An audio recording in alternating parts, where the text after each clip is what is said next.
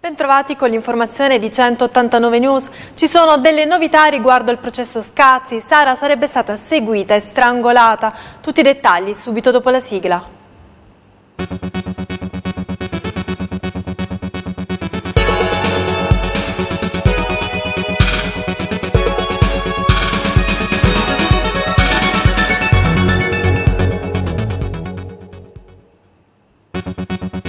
Sara inseguita e strangolata, nuovi retroscena sul delitto di Avetrana. Processo Ilva, assolto l'ex assessore Nicastro. Bonifiche, giornata di lavoro il 13 al Castello Aragonese. Calcio Taranto, la festa delle giovanili. Nuovo appuntamento con l'informazione di 189 News. Inseguita, strangolata in un raptus omicida nel giro di tre minuti e poi consegnata a zio Michele affinché si disfacesse del cadavere. Emergono nuovi particolari nelle motivazioni della sentenza di conferma dell'ergastolo per Cosima Serrano e Sabrina Misseri, depositate con un anno di ritardo sull'omicidio di Sara Scazzi, la quindicenne di Avetrana uccisa il 26 agosto del 2010 e poi gettata in un pozzo. Per le due donne detenute nel carcere di Taranto non resta che attendere il giudizio definitivo della Cassazione. Nel documento di 1260 pagine pubblicato ieri dal settimanale Giallo si leggono alcuni passaggi dei PM che incastrano la zia e la cugina della vittima. Sara, scrivono i magistrati dell'accusa, sapeva che Sabrina era stata rifiutata dal loro amico Ivano. Le sue assassine temevano che lo raccontasse a tutti. Lo stato d'animo di Sabrina Misseri era certamente acuito dal fatto che la piccola Sara, da Sabrina stessa ritenuta più graziosa di aspetto di lei, aveva avuto, seppur inconsapevolmente, un ruolo nella rottura del rapporto anche amicale tra Sabrina e Ivano Russo, eppure continuava a intrattenere affettuosi rapporti con quest'ultimo pur di non privarsi delle sue coccole. Era questo per Sabrina un intollerabile tradimento che darà poi origine al contrasto della sera del 25 agosto 2010. E la Corte europea dei diritti umani con sede a Strasburgo ha accolto la richiesta della società Riva Fire SPA in liquidazione di intervenire nei procedimenti in corso contro l'Italia sulla questione Ilva. La società ha nominato quali procuratori speciali gli avvocati Luisa Torchia, Alessandro Triscorni e Sirio Damanzo, perché si era questi rappresentata, assistita e difesa in ogni fase ai fini del suo intervento nei due procedimenti del 2013 e del 2015 aperti presso il CEDU. Il primo riguarda il ricorso presentato da 52 residenti a Taranto nella provincia ed è stato promosso nel 2013 dal comitato Legami Ionici. I ricorrenti sono rappresentati dall'avvocato Sandro Maggio, che pure li difende, e dalla dottoressa Daniela Spera. Il secondo ricorso è stato presentato da ulteriori 130 cittadini residenti a Taranto, rappresentati e difesi dall'avvocato Andrea Saccucci. Secondo i ricorrenti, l'Italia avrebbe violato le disposizioni della Convenzione europea dei diritti umani, di cui agli articoli numero 2, 8 e 13. La Corte ha anche accolto le richieste di intervento dell'ISDE, Associazione Medici per l'Ambiente, e del direttore del Dipartimento di Giurisprudenza dell'Università di Torino. Lo rende noto il Comitato Legami Ionici. Processo Ilva assolto definitivamente l'ex assessore regionale Nicastro. Sentiamo. Oggi è diventata definitiva la mia sentenza di assoluzione nel processo Ilva. Si è chiusa una piccola storia che piccolissimi uomini avevano costruito con la medesima approssimazione progettuale con la quale un circolo dopolavoristico organizza tornei di calcetto, meglio di tennis. Da oggi i nanetti ammantati di nero e fregiati di oro e argento cercheranno un'altra Biancaneve alla quale far credere di essere giganti. Questo il commento commento postato sul suo profilo Facebook da Lorenzo Nicastro, magistrato, ex assessore regionale della Giunta Vendola. Scaduti i termini dell'appello, Nicastro è stato definitivamente assolto dall'accusa di favoreggiamento nei confronti del Presidente della Regione Puglia nell'ambito dell'inchiesta sul disastro ambientale dell'Ilva. Nel giudizio abbreviato i pubblici ministeri avevano chiesto la condanna a dieci anni dell'ex assessore. Nicastro era accusato di aver favorito il presidente della regione Michi Vendola, che deve rispondere di concussione, sottacendo alcune circostanze a lui note in riferimento alle presunte intimidazioni poste in essere dall'allora governatore nei confronti del direttore regionale dell'ARPA Puglia, Giorgio Assennato, per indurlo a posizioni più concilianti con la dirigenza Ilva. Io, dichiarò Nicastro, spero per Taranto e per i tarantini, per la storia di Taranto, che il processo renda giustizia sia per chi ha sbagliato sia per chi non ha sbagliato, perché di condanne di innocenti non ne ha bisogno nessuno, men che meno Taranto. Se questo dovesse accadere, a perdere sarà Taranto una volta di più. E nell'ambito delle azioni volte alla bonifica e alla riqualificazione dell'area di crisi ambientale di Taranto, il prossimo 13 settembre a partire dalle 9 si terrà a Taranto presso il Castello Aragonese, piazza Castello 4, una giornata di lavoro sul tema bonifica dell'area vasta di Taranto, un approccio innovativo per la creazione di un laboratorio. La giornata di lavoro è stata organizzata dal commissario straordinario per la bonifica, ambientalizzazione, riqualificazione di Taranto Vera Corbelli, in collaborazione con Remtec 2016 Remediation Technologies. L'iniziativa, che coinvolge tutte le istituzioni e i cittadini, è finalizzata ad un confronto e comunicazione sull'attuazione di una strategia ampia che contempla anche la rigenerazione di un tessuto territoriale, sociale ed economico compromesso che si vuole realizzare per l'area di crisi ambientale. Non più a Brindisi, ma a Taranto a causa del maltempo. Altri 581 profughi sono sbarcati nella serata di ieri nel porto ionico. Sono stati trasportati a bordo del pattugliatore della Marina Militare Spagnola Rio Segura che li ha soccorsi nel canale di Sicilia. Si tratta di migranti di varie nazionalità africane, 340 uomini, 118 donne e 123 minori vengono identificati nell'hotspot e sottoposti a controlli sanitari. Fra loro la polizia avrebbe già individuati tre scafisti. Il costante arrivo di profughi mette dura prova la gestione dell'accoglienza in Puglia. I posti sono esauriti già da qualche tempo. E ieri l'acquedotto del Sini, dorsale ionico-salentina dell'acquedotto pugliese, destinato all'approvvigionamento idrico delle popolazioni nel sud della Puglia, è stato inaugurato dal presidente della regione Puglia Michele Emiliano e dal presidente dell'acquedotto pugliese Nicola De Sanctis. La condotta, pianificata dalla regione Puglia per un costo complessivo di circa 40 milioni di euro, rientra tra le opere di carattere strategico ammesse ai finanziamenti CIPE finalizzate al potenziamento delle dotazioni idriche regionali consentirà di trasferire risorsa idrica sufficiente alle esigenze potabili della fascia ionico-salentina, affiancandosi allo storico sifone leccese. Si inaugura così un importante tassello di un percorso progettuale che permetterà sempre di più l'utilizzo interconnesso delle varie fonti d'acqua in tutto il territorio servito. Un magma che ribolle e che rischia di tracimare su se stesso, un fiume di lava che non si sa quale direzione prenderà e che potrebbe gonfiarsi per effetto dei tanti ostacoli disseminati sul cammino di Parisi, finendo per travolgere lui e l'intero centrodestra. Un centrodestra che per tornare a vincere, non me ne voglia l'amico Parisi, con cui ho condiviso due anni in Confindustria, scommette su un portatore sano di sconfitta alle comunali di Milano. Certo, ora si gioca un'altra partita, ma riteniamo sia finito il tempo dell'uomo solo al comando dell'unto dal Signore della ricetta miracolosa. Non ci crediamo più, soprattutto in un sud dimenticato da tutti, in cui Cristo si è fermato molto prima di Eboli. Così Antonio Caramia, imprenditore, già presidente provinciale di Assindustria e vicepresidente regionale degli industriali, interviene nel dibattito politico, un dibattito che sta per accendersi in vista delle elezioni comunali di Taranto.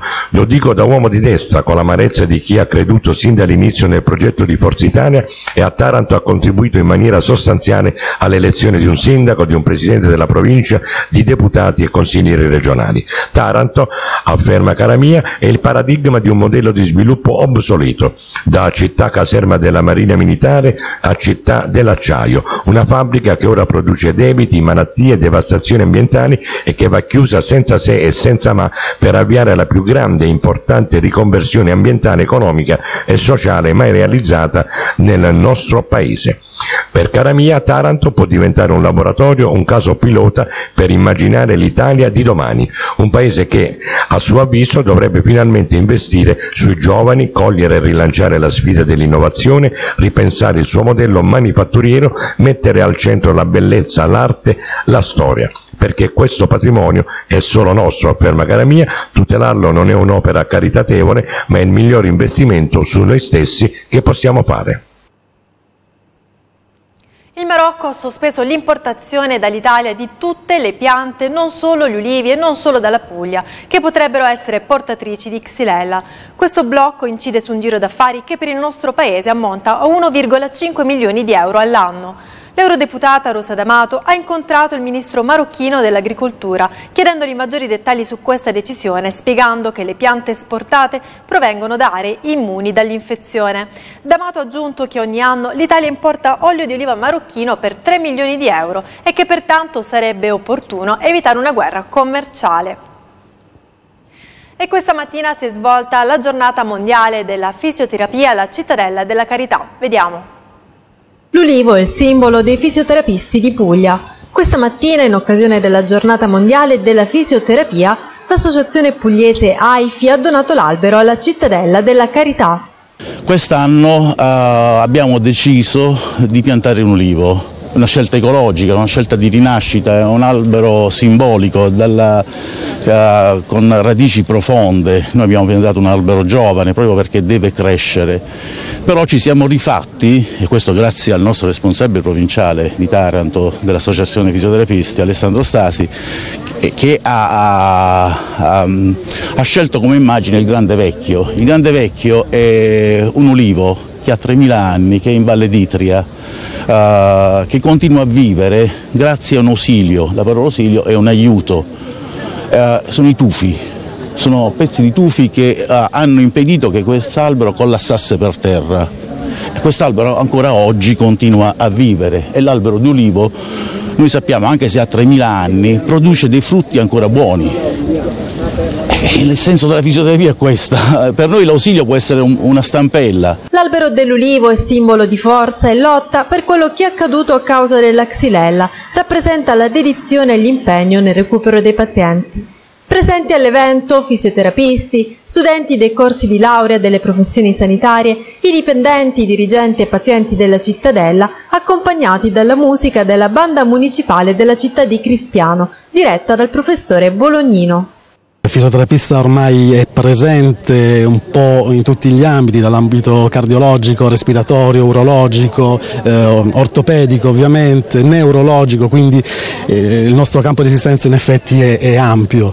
E il problema reale probabilmente è che non è conosciuto da, da, tutti quanti, da tutti i cittadini. La giornata di oggi ha proprio questo scopo, quello di sensibilizzare l'opinione pubblica, oltre che noi stessi talvolta, perché anche noi intanto dimentichiamo la nostra funzione, la nostra missione. E quindi ricordare ai cittadini chi siamo, cosa siamo e il nostro ruolo, la nostra missione nella società.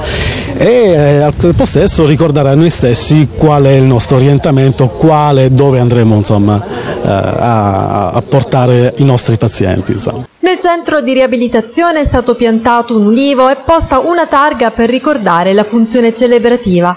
L'evento ha ottenuto il patrocinio della Regione Puglia, della provincia di Taranto e del comune di Taranto. Tremante e impaurito sotto la pioggia, legato con un pezzo di spaga a un guardrail sulla strada del porto a Taranto.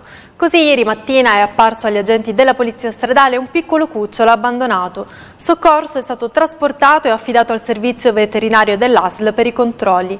Lo stesso cucciolo è stato adottato dagli agenti anche per fargli subito dimenticare le crudeltà del suo padrone. Il dirigente della Polstrada, dottor Nicola Manzari, in una nota sottolinea come sia purtroppo ancora diffuso il fenomeno dell'abbandono dei cani, soprattutto a fine estate, e che è un reato punito dal codice penale con l'arresto fino a un anno e multe che vanno dai 1.000 ai 10.000 euro. Per la rassegna Fuori Luogo, sabato 10 settembre alle ore 19 nell'isola di San Paolo in Mar Grande, imbarco dal molo Sant'Eligio su catamarano della Ionian Dolphin Conservation, va in scena Daniel, il delfino coraggioso, narrazione di Giovanni Guerino, liberamente tratto dal romanzo Il delfino di Sergio Bambare in produzione Crest. L'evento è realizzato nell'ambito del programma regionale di spettacolo dal vivo per la valorizzazione delle risorse culturali ed ambientali della Puglia 2016. Per informazioni è possibile contattare il numero 099 47 25 78 0. Ieri al Cinema Ariston la presentazione del settore giovanile del Taranto. Vediamo il servizio di Leo Spalluto. Per una volta sotto i riflettori ci sono stati soprattutto loro, i giovani calciatori del Taranto FC 1927. Il Cinema Ariston ha aperto ieri sera le porte alla presentazione ufficiale del settore giovanile del Taranto. Nel corso della serata, condotta da Gianni Sebastio, sono stati presentati allenatori, dirigenti e calciatori di tutte le formazioni baby rosso-blu.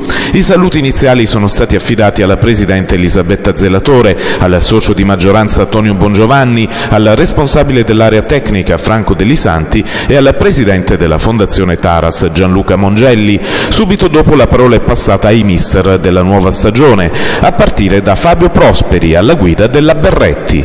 Le difficoltà credo che siano di, di, esperienza anche perché non c'è nessun ragazzo che ha mai affrontato un campionato Berretti o Primavera. Però sono dei ragazzi che devo dire da un punto di vista della crescita a prescindere dai risultati mi hanno dato fino adesso grandissime soddisfazioni. Me le stanno dando anche adesso il ritiro quindi sono curioso, ecco, come loro sono curioso di affrontare questo nuovo campionato. Salvatore Del Vecchio si occuperà della formazione Under 17. La differenza con i campionati regionali è soprattutto sul ritmo, eh, le giocate vengono fatte oltre che con più padronanza tecnica per i valori tecnici che crescono, ma cresce soprattutto il ritmo e l'intensità, noi dobbiamo essere pronti e diciamo, ci dobbiamo far trovare pronti. L'Under 15 sarà guidata dall'ex calciatore rossoblù Cosimo Zangla. Beh, innanzitutto piccolo Metti mm, molto disciplinati, è chiaro che mm, eh, non è soltanto il risultato in campo ma c'è una crescita tecnica, coordinativa e, e sportiva. Eh, sono tutti ragazzi che vengono dalle scuole calcio, quindi indirizzarli in un percorso di, eh, di squadre professionisti ci vuole un po' di tempo, però penso che con la disponibilità che ho avuto anche in questi giorni credo che i ragazzi possano, avere, possano ottenere dei risultati importanti. No, obiettivo, obiettivo sono ognuno, ogni fascia d'età degli, ci sono degli obiettivi, il mio obiettivo è quello di comunque far crescere questi ragazzi e, e poter portarli il più avanti possibile. È chiaro che, eh, che poi con il lavoro eh, e l'organizzazione se viene qualche risultato eh, ci possiamo divertire ben vengono. Completa lo staff tecnico Mimmo Recchia. Il compito di coordinatore delle giovanili è stato affidato a Marco Capone e si va a delineare il roster del futsal Paolo VI Taranto che Nobile metterà a disposizione di coach Morrone. È arrivato Domenico Valentini, conosciutissimo nel mondo del calcio a 5 pugliese. Centrale molto forte fisicamente, Tarantino Doc classe 85. In passato Valentini ha indossato la maglia di Taranto per due volte con due società diverse e la maglia del Martina. Un rinforzo per l'Atletic San Marzano, classe 84, Valentina Lusso è felice per aver trovato sulla sua strada una società seria. Il calcio è sempre stato la mia passione, ci gioco da quando ero piccolina. Purtroppo negli ultimi anni non ho trovato un progetto che ritenevo serio e che mi ispirasse. Questa è l'occasione giusta per tornare a giocare e dare il massimo, visto che di fronte ho gente serissima come il tecnico Buonafede e il presidente Abate Matteo. Siamo stati bravi nei primi due quarti, un po' meno in quelli successivi. Ci manca ancora qualcosa. Lucida l'analisi di coach Putignano dopo l'amichevole persa ieri dalla Puma Trade in Taranto, 72 a 53 al Palamazzola contro la parigrado Ambrosia Bisceglie. Mancano 25 giorni dall'inizio del campionato di Serie B ed il CUS Ionico non si ferma. Nel weekend i rossoblù restituiranno la visita a Bisceglie partecipando al Memorial Peppino di Benedetto sabato 10 e domenica 11. Il 12 settembre sarà in tutta Italia il Menea Day. A tre anni dalla scomparsa dell'atleta pugliese, l'Italia dell'atletica torna a celebrare Pietro Meneo nel 37 anniversario del suo record del mondo dei 200 metri a Città del Messico. Quei 19,72 che per 17 anni ha rappresentato la cifra della velocità assoluta sul mezzo giro di pista. In provincia di Taranto il Menedei si svolgerà nello stadio comunale di Statte, dotato di una moderna pista di atletica e considerato anche dalla Federazione Italiana di Atletica Leggera la struttura più adeguata per un evento di questo genere. L'iniziativa del Menedei Taranto sarà presentata ufficialmente alla stampa il prossimo 9 settembre alle 11.30 nella sede del comune di Statte in via San Francesco 5. E si conclude la nostra edizione di 189 News. Vi ricordiamo che l'informazione continua in tempo reale sul nostro sito www.canale189.it e vi rimandiamo ai nostri prossimi appuntamenti.